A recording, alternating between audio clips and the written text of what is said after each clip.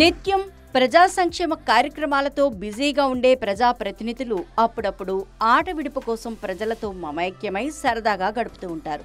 అందులో భాగంగా AP deputy speaker swimming పూల్లో ఈత కొడుతూ అరుదైన ఫీట్తో ఔరా అనిపించారు.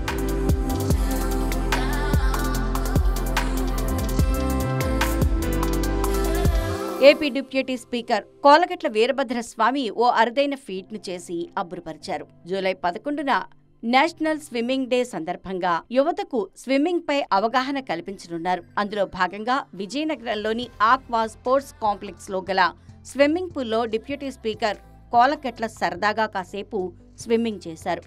ఈ సందర్భంగా నీటిలో శివాసనం వేసి అందర్నీ అలరించారు.